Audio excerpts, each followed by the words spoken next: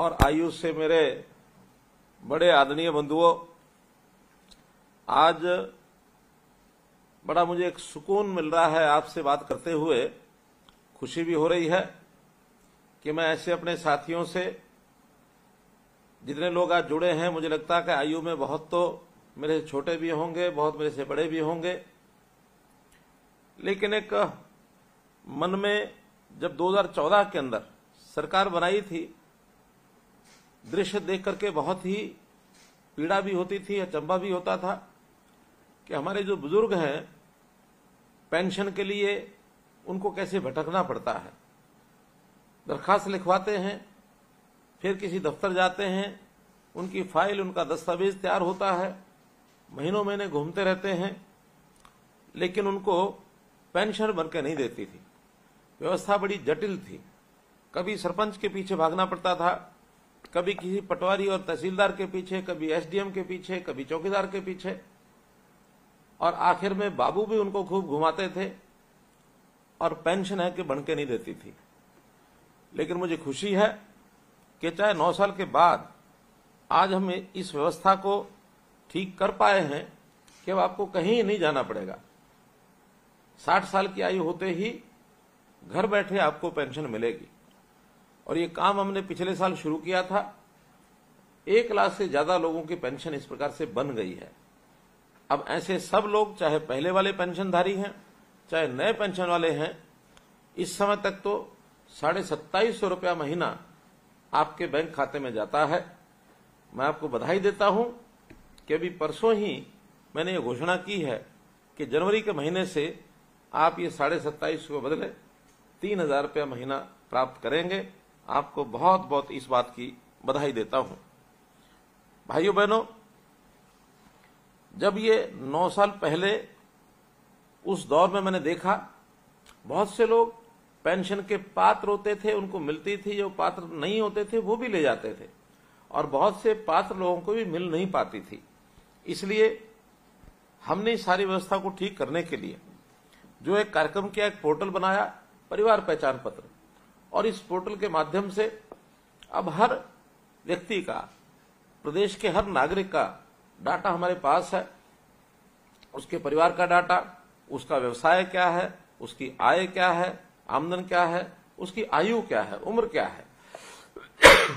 और जैसे ही उम्र 60 साल की हो जाती है तो सरकार का विभाग का कोई एक कर्मचारी अधिकारी घर पहुँचता है और आपसे कागज़ पर साइन करवाता है। साइन कराने में केवल इतना ही हेतु तो होता है कि आप पेंशन लेने की इच्छा भी रखते हैं या नहीं रखते हैं। केवल इतना एक औपचारिकता करके आपके साइन होने के बाद, एक महीने के बाद सीधी पेंशन आपके बैंक खाते में पहुँचती है और आपको भी उस समय खुशी होती है, हमको भी खुशी होती है कि हमारे उस एक भाई को जिसको पेंशन की आवश्यकता है, उसको बिना किसी हुलजत के और ये पेंशन मिल गई है। हमने इस प्रकार से एक व्यवस्था की है कि पहले पेंशन मानो कोई लेना चाहता था, उसकी पेंशन उसके पहुँच नहीं पाती थी तो कई बार ध्यान में आता था कि बीच में कोई और खा गया पेंशन किसी का हक कोई और मार ले गया। तो ऐसे हक मारने का भी एक जो सिलसिला होता था, उसको हमने बंद किया। खास करके ऐसे परिवार या ऐसे असहाय व्यक्ति जो किसी से झगड़ा नहीं कर सकते, जिस किसी को इसका मानो कोई उनका हक मार के ले गया तो उसकी जिम्मेवारी किसी के ऊपर नहीं डाल सकते। तो ऐसी स्थिति कई बार समाज में रहती है। लेकिन अब मैं दावे से कह सकता हूँ कि कोई किसी पात्र व्यक्ति का अधिकार या हक नहीं मार सकता। पात्र व्यक्ति का तो उसको मिलेगा। हाँ अपात्र व्यक्ति भी जो पा, यानी पात्र नहीं होते थे जो उसके हकदार नहीं होते थे वो भी कई बार ऐसी पेंशन ले जाते थे। तो उनको पेंशन से हमने मना किया है कि जो हकदार नहीं है उसको पेंशन मिल नहीं मिलनी चाहिए। और बहुत लोगों ने तो मुझे ध्यान में है अपने आप भी इस समय पेंशन छोड़ी है। उनका कि ठीक है हम हकदार नहीं थे मानो हमने गलती से ली भी है तो हम पेंशन छोड़ते हैं। एक केस तो मुझे ऐसे भी ध्यान में आया जिन्होंने कहा कि मैंने पेंशन छोड़ी और इतने समय तक मैं पेंशन लेता रहा हूँ, मेरी पेंशन वापस भी जमा कराना चाहें तो मेरी पूरी पेंशन बैंक में जमा है, उसको वापस भी आप ले सकते हैं। ऐसे सज्जन पुरुष भी इस अभियान के अंदर हमको मिले हैं। जो पेंशन 2014 में एक हज़ार रुपया मासिक ये मिलती थी, हमने उस पेंशन को बढ़ा करके हर साल बढ़ाते बढ़ाते और आज स्थिति एक जनवरी 2024 को ये पेंशन एक हज़ार से तीन हज़ार रुपया हमने की है, यानी तीन गुना ये पेंशन हुई है। और इस पेंशन को पा करके निश्चित रूप से हमारे 60 वर्ष की आयु को पार करने वाले व्यक्ति, उसके अपने ढंग से उपयोग करते भी होंगे।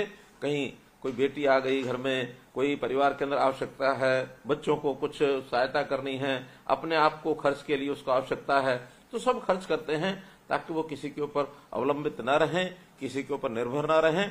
और अपना सिस्टम जो है ठीक से चला पाए। अब इस, अगर मैं पेंशन की बात करूँ तो जितने भी लोग पेंशन ले रहे हैं, उसमें हमारे बुज़ुर्ग बंधु तो है ही हैं, जिनकी आयु 60 साल से ऊपर है, और जिनकी आय अपनी और अपनी पत्नी की अर्थात दोनों की आय मिलाकर के तीन लाख रुपए से कम है, ये सब बंधु तो ले ही रहे हैं। लेकिन दुर्भाग्य से बहुत हमारी बहनें विधवा हो जाती रही हैं, उनको भी पेंशन का प्रावधान हमने किया है। कुछ बीमारियाँ ऐसी होती हैं, लाइलाज बीमारियाँ उन लोगों को भी हम ये देते हैं, दिव्यांग बंधु जो अपना ठीक से काम नहीं कर सकते हैं, उनको ये पेंशन मिलती है और अब तो एक घोषणा मैंने की है, बहुत शीघ्र उनको योजना, ये मिलने शुरू हो जाएगी पेंशन, जो हमारे विधुर बंधु हैं, जिनकी आयु 40 वर्ष से पार हो गई है, जिनकी पत्नी का देहांत हो गया, उनको भी ये पेंशन हम दे रहे हैं। और ऐसे ही जिन बंधुओं की 45 साल तक शादी नहीं हुई 45 साल के होने के बाद उनको भी ये जो पेंशन है, हम उपलब्ध कराएँगे, ताकि समाज में एक सम्मान के साथ वो लोग भी रह सके, जी सके। ऐसे कुल मिलाकर 30 लाख लोगों को अब ये जो पेंशन है, हर महीने ये जाती है। और जनवरी 2024 में अगर मैं तीन हज़ार रुपये प्रति व्यक्ति का हिसाब लगाऊँ तो 900 करोड़ रुपया प्रति माह हमारा सामाजिक पेंशन लगभग ये साल का दस हज़ार करोड़ रुपए से भी ऊपर बनता है, जो किसी और प्रदेश में इतनी पेंशन नहीं है। हरियाणा एकमात्र ऐसा प्रदेश है जो इस सीमा तक अपनी जो पेंशन है, वो बढ़ाकर लेकर के गए हैं। न केवल पेंशन, बल्कि गरीब लोगों को मिलने वाले और भी लाभ। जैसे मानो बीपीएल परिवार हैं तो बीपीएल परिवारों का हम जानते हैं कि पहले कभी एक बार सूची सरकार बनवाती थी, वर्षों तक उस सूची में नाम नहीं जुड़ पाते थे। हमने बीच में एक बार बहुत प्रयत्न करने के बाद और एक लाख नए राशन कार्ड बनाए थे, बहुत तरह की कठिनाइयाँ उस समय हमको आई थी। क्योंकि हम भी आखिर सरकारी कर्मचारी और बाबुओं से काम लेते हैं, लेकिन कठिनाइयाँ बहुत पैदा होती हैं। लेकिन हमने जब परिवार पहचान पत्र बनाया और एक ही घोषणा की कि अभी तक बीपीएल की जो आय सीमा है, वो एक लाख बीस हज़ार रुपया साल की है, हमने उसको बढ़ा करके एक लाख अस्सी हज़ार कर दिया। और जैसे ही एक लाख अस्सी हज़ार किया तो ये जो बीपीएल के परिवार हैं, ये एकदम डबल से भी ज़्यादा और ये हुए हैं तो उन बीपीएल के परिवारों को ऑटोमेटिकली अपने आप राशन का कार्ड उनका बन जाता है। राशन की सुविधा ऐसे सब लोगों को मिल जाती है। और इसी प्रकार आयुष्मान भारत, प्रधानमंत्री जी ने जो घोषणा की कि पाँच लाख रुपया प्रति परिवार, यदि कोई परिवार में बीमार हो जाता है, किसी का इलाज लंबा चलता है, किसी को कोई एक्सीडेंट हुआ है, कोई ऑपरेशन कराना पड़ता है तो ऐसे परिवार के सब सदस्यों का मिलाकर पाँच लाख रुपए वार्षिक इलाज का पैसा ये सरकार खर्च करती है। ये एक बहुत बड़ी सुविधा अपने गरीब परिवारों को बीपीएल के परिवारों को मिली। लेकिन इस इतना मिलने के बाद भी, क्योंकि बीपीएल परिवारों की जो सूची थी, वो 2011 में बनी थी। हमने उसके बाद नई योजना बनाकर और यही लाभ चिरायु योजना के अंतर्गत भी हरियाणा सरकार से शुरू की गई। आय बढ़ाई। जो लोग उसके बाद भी गरीब लोग हो गए थे, उनको सूची में जोड़ा। तो ये पंद्रह लाख परिवार की बजाय ये लगभग उनतीस लाख परिवार ये उसके बाद हो गए। और अभी जब और आगे बढ़ते हुए कुछ लोग उसमें से रह गए थे, उन सबको हमने चिन्हित किया। कई परिवार मानो विभाजित होकर के एक से दो बन गए, एक से तीन बन गए। आखिर ये तेरह साल की अवधि में समाज के अंदर परिवर्तन बहुत हुआ। तो अभी दो दिन पहले ही हमने और चौदह लाख परिवारों को चिरायु हरियाणा के अंतर्गत जोड़ करके, अब ये सूची कुल मिलाकर के चालीस लाख परिवार ऐसे हो गए हैं। डेढ़ करोड़ से ऊपर लोग ऐसे हैं जिनको इसका लाभ मिलेगा। सबके कार्ड धीरे धीरे बन रहे हैं। अस्सी लाख लोगों के कार्ड बन चुके हैं। शेष लोगों के कार्ड अब एक एक स्थान पर जाकर हमारे लोग ये बना रहे हैं। तो इस प्रकार से एक बहुत बड़ी योजना चिरायु हरियाणा, आयुष्मान भारत, इसकी भी हमारी जो है, बनी है, जिसका लाभ आप सब लोग उठा रहे हैं। परिवार पहचान पत्र में न केवल इतना ही है कि जिससे कोई हमारी ओल्ड एज पेंशन अथवा आयुष्मान भारत अथवा राशन कार्ड, इन्हीं का नहीं तो तीन सौ सत्तानवे सेवाएँ और योजनाएँ ऐसी हैं जो आयुष्मान जो परिवार पहचान पत्र बनने के बाद घर बैठे आपको उसका लाभ होता है। अब यदि किसी व्यक्ति को अपना जन्म तिथि प्रमाण पत्र चाहिए, एक क्लिक से मिलता है। किसी व्यक्ति को अपना बैकवर्ड क्लास का सर्टिफिकेट चाहिए, एक क्लिक से मिलता है। किसी व्यक्ति को अपनी ज़मीन की फ़र्ज़ चाहिए, एक क्लिक से मिलती है। यानी इतनी सुविधाएँ उसके साथ जोड़ी हैं, अब दर दर न भटकना पड़ता है न चक्कर काटने पड़ते हैं। हर व्यक्ति को इसका लाभ मिला है। हमारे विपक्षी बंधु बहुत शोर मचाते थे कि पोर्टल ऐसे बना दिए हैं, लोग जो है पोर्टल में पिस गए हैं।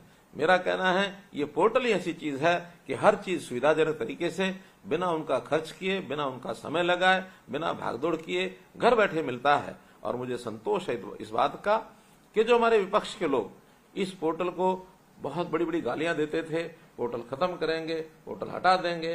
अब आखिरकार वही मान गए हैं कि नहीं पोर्टल है तो अच्छी चीज़, इसमें यदि कोई कमी होगी तो उसको दूर करेंगे। मित्रों, कमी तो हर चीज़ में रह ही सकती है। आखिर कोई नई चीज़ जब लागू की जाती है तो उसके अंदर स्वाभाविक है छोटी बड़ी कमी रहती है। हमने उन कमियों को दूर करना शुरू किया है और लगभग दो लाख से ढाई लाख ऐसे परिवार थे, सत्तर लाख में से, जिन्होंने कुछ कमियाँ बताई। हमने प्राय प्राय सब ठीक कर दी हैं। अब तो कोई कमी होती है। उसको तुरंत वो लोग ऑनलाइन उसको दर्ज करते हैं, रजिस्टर कराते हैं और हमारे लोग उसको तुरंत जाकर के सर्वे करके उसको ठीक करते हैं। किसी की इनकम गलत लिखी गई है, उसको हम ठीक करते हैं। परिवार के सदस्यों की संख्या गलत लिखी गई, उसको ठीक करते हैं। पता गलत लिखा गया, उसको हम ठीक करते हैं। नाम अथवा पति, पिता का नाम अथवा किसी के और किसी सदस्य का नाम गलत लिखा जाता है, उसको हम ठीक कर देते हैं। तो ये सब चीज़ें ठीक करने के लिए हम लगातार कर रहे हैं। हर वर्ष जो परिवर्तन उसमें होने होते हैं, चाहे व्यवसाय का परिवर्तन है, चाहे उसकी आय का परिवर्तन है, इस प्रकार के सब परिवर्तन उसके अंदर डाले जाते हैं। यदि व्यक्ति एक स्थान से दूसरे स्थान पर चला जाता है, दर्ज करते ही तुरंत उसको बदल देते हैं। तो इस प्रकार की ये परिवार पहचान पत्र की जो सुविधा है, ये एक बड़ी सुविधा और ये लोगों को सबको दी है। आपके लिए एक और खुशी की सूचना ये मैंने जो दो दिन पहले करनाल के अंदर जो सम्मेलन, महासम्मेलन हुआ था, अंत्योदय महासम्मेलन, उसमें घोषणा की थी कि ऐसी बड़ी आयु के लोग, साठ वर्ष से ऊपर की आयु के लोग और बीपीएल के परिवार, इन लोगों को मुख्यमंत्री तीर्थ यात्रा योजना ये बनाई गई है। और इस तीर्थ यात्रा योजना के अंतर्गत अब आप स्वयं और आप अगर किसी सहयोगी को भी लेके जाना चाहें तो आप लोगों को रेलवे का किराया, ये मुफ़्त होगा, चाहे आप अयोध्या जाते हैं वाराणसी जाते हैं आप अमृतसर जाते हैं आप प्रयागराज जाते हैं आप आ, मानो पटना साहब जाते हैं कोई भी तीर्थ यात्रा करने के लिए मथुरा जाते हैं तो इन सब स्थानों पर जाने के लिए साठ वर्ष से ऊपर की आयु के हर व्यक्ति को ये सुविधा दी गई है। तीर्थ यात्री बन करके आपका अपना खर्च कम से कम लगे आपका रेलवे का जो किराया है वो सरकार भरे इस प्रकार की योजना भी आपको दी है। निश्चित रूप से आप इसका जो लाभ है अवश्य उठाना चाहिए। आयु बहनों अस्सी वर्ष से ऊपर के जो हमारे बुज़ुर्ग हैं हमारे ऐसे साथी बुज़ुर्ग जिनकी अस्सी वर्ष के बाद बहुत ज़्यादा चिंता करने की आवश्यकता होती है। और बड़ा एक अनोखा चित्र सामने आया कभी कभी तो अस्सी वर्ष का ऊपर का व्यक्ति भी अकेले रहना पड़ता है। हमारे पास ऐसे छत्तीस ऐसे आ, हमारे जो बुज़ुर्ग हैं अस्सी वर्ष से ऊपर हैं अकेले रहते हैं। कैसे वो अपने खाने की व्यवस्था करते होंगे, कैसे वो भोजन की व्यवस्था करते हैं, यानी कपड़े की व्यवस्था करते होंगे, शेष भी बहुत आवश्यकताएँ होती हैं, कहीं दवाई की है, कहीं देखभाल की है तो इन सब के लिए भी हमने विचार किया है कि हम वरिष्ठ नागरिक सेवा आश्रम ये बना रहे हैं। हर एक डिप्टी कमिश्नर को हमने कह दिया है कि जिला केंद्रों पर वरिष्ठ सेवा आश्रम जो है, वरिष्ठ नागरिक सेवा आश्रम ये बनाए जाए, और ऐसे जो बंधु हैं, जो अकेले हैं, उनको रहने में कठिनाई है तो उन सेवा आश्रम में वो रहेंगे, उनकी पूरी देखभाल की जाएगी। और अगर मानो वो नहीं भी आना चाहते, कहीं रह रहे हैं, मानो परिवार में रह रहे हैं तो भी हर दो महीने में एक कोई ना कोई कर्मचारी अथवा रिटायर्ड कर्मचारी, जिसका हमने एक व्यवस्था बनाई है, प्रहरी योजना बनाकर, इस प्रहरी योजना के अंतर्गत आपके पास दो महीने में कोई एक व्यक्ति संभाल के लिए, देखभाल के आपका हालचाल पूछने के लिए ज़रूर आएगा। तो इस प्रकार से ऐसे जो हमारे बुज़ुर्ग हैं, शारीरिक रूप से कई बार आवश्यकता होती है तो उनकी सबकी सेवा होगी। बुज़ुर्गों भाइयों बहनों शारीरिक रूप से कई बार आयु के साथ कमज़ोरी आ जाती है। लेकिन मेरा ये मानना है कि आखिर एक आयु के साथ व्यक्ति का अनुभव है, वो अनुभव भी बढ़ता है, और उस अनुभव का लाभ हमें अपनी नई पीढ़ी को ये भी देना चाहिए। आखिर नई पीढ़ी आकर के हमारे अनुभवों का लाभ लेकर के समाज में, जीवन में काम करेगी उनकी भी प्रगति होगी और देश प्रदेश समाज को, वो भी इसको भी लाभ होगा। तो निश्चित रूप से इस काम को भी हमें करना चाहिए, सबको अपनी ओर से ये सब बताना चाहिए। कुछ दिनों बाद दीपावली आ रही है। दीपावली की भी मैं अग्रिम बधाई आप सबको देता हूँ, आपके परिवार के सब लोगों को भी बधाई देता हूँ, आपको बहुत बहुत शुभकामनाएँ देता हूँ। और हाँ, मैं आपके साथ, हो सकता कुछ ऐसे युवा साथी या आपके परिवार के अन्य लोग मेरी बात सुन रहे हो तो मेरा उनसे भी आग्रह है कि हम अब अपने बुज़ुर्गों का ख्याल रखें।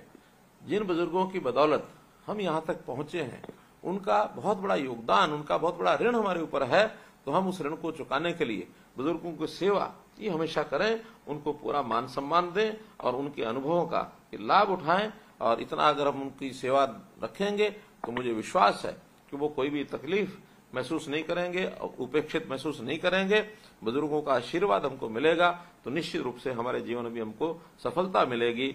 इन शब्दों के साथ पुनः आप सबको बहुत बहुत बधाई बहुत बहुत शुभकामनाएँ।